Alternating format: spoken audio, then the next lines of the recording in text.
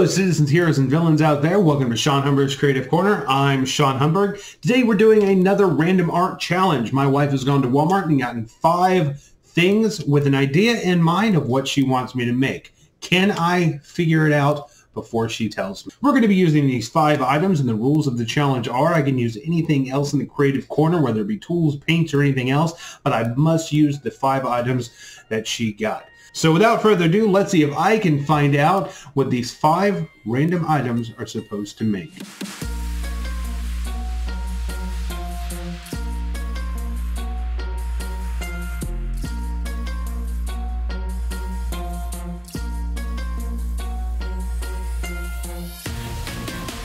Okay, item number one.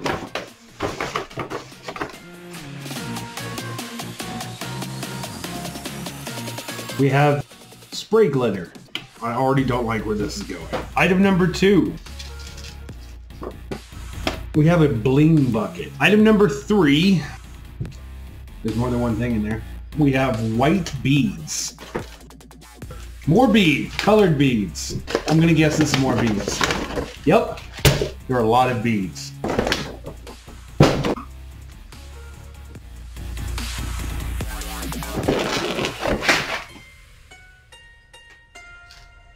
We have cookie sheets.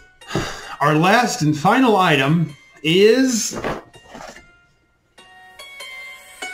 we have a, a window, window frame. She had to have something in mind to give me these items. Am I to make what she was thinking? Out of spray glitter, bling bucket, beads, a window frame, and cookie sheets. I'm to need a moment. My wife does have an idea of how these items are supposed to go together, and they are in this sealed envelope. And I cannot open this until I'm done with the project to see if I came anywhere near what her idea was. I really have no idea what I'm supposed to make out of this stuff. She told me something here was going to give it away. Based on the evidence, that was a lie. 1500 opaque pony beads. What makes them pony beads? That's That bothers me. Are they made out of ponies? Are these hoof beads? Am I supposed to bedazzle something? I don't know what point those would melt. This is a heck of a riddle. Okay, so here's what I'm thinking. So I'm thinking about doing something very similar to pixel art. Um, these are plastic, so I'm betting that I could melt these, and that's what the cookie sheets are for. We're going to make a plastic stained glass window. We need to test our theory and see if this will even melt.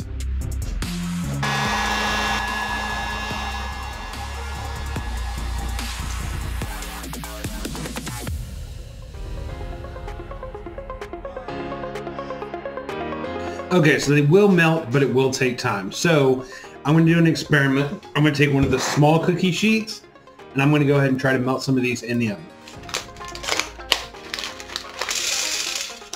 All right, let's do our test. Hey, look at that. So that worked. As you can see, it melted just fine. Worked to the wise though, this stinks. Open some windows. That came out very sturdy with a glossy side and a matte side. Very interesting. Let's start by pouring out a bunch of our beads. I think that I really just want to do a gradient. I want to just go from one color to the next. But let's sort of mix it in, make it look like a pixel art gradient. I need to separate all of my colors. This is going to take a minute.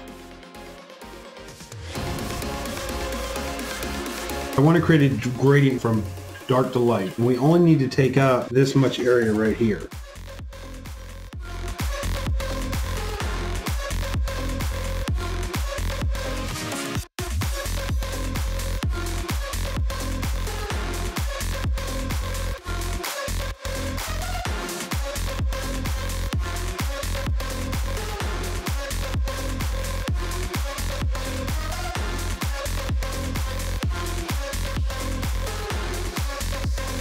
All right, now it's time to melt this design.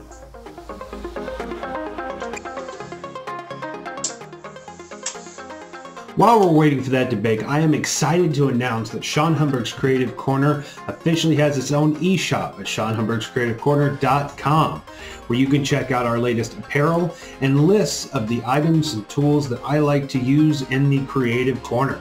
Feel free to go check it out, get your official Sean Humber Creative Corner merchandise, as well as use the same tools that I use right here at the Creative Corner. Now we have one side of our faux stained glass. This is really, really fun. You could actually do a lot of different kinds of art projects using just beads in the stove, apparently. And it's cheaper than those little things that you have to put on board and iron down. Here is our faux stained glass. Here is what it looks like when placed in our little window frame. We'll make another one and we'll go from there. Okay, that's in the oven. So for the rest of the beads, we're gonna move them out of the way and go ahead and get started with the bling bucket. So let's get these out of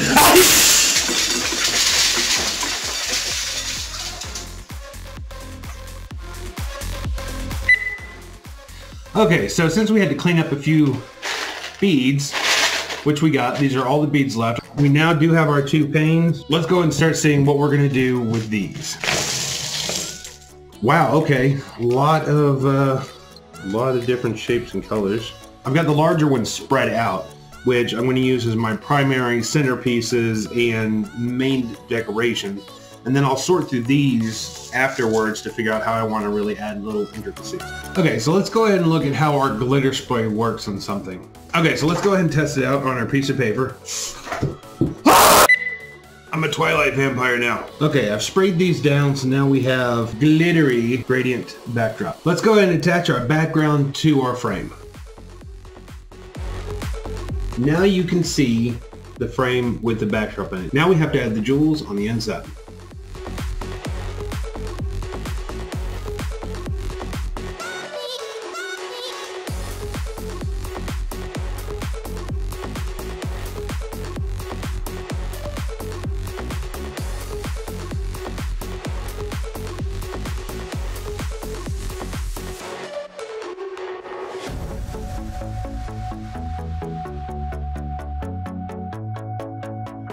It is now time to go through the tedious process of gluing them all down to the backdrop.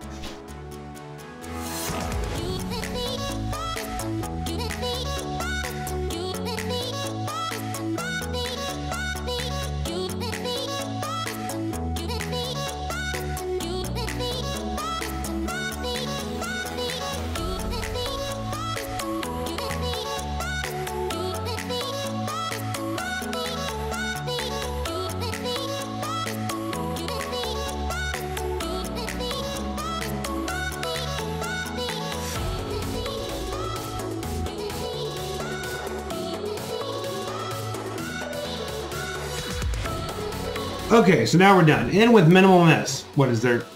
Is there something in my... Over here? here?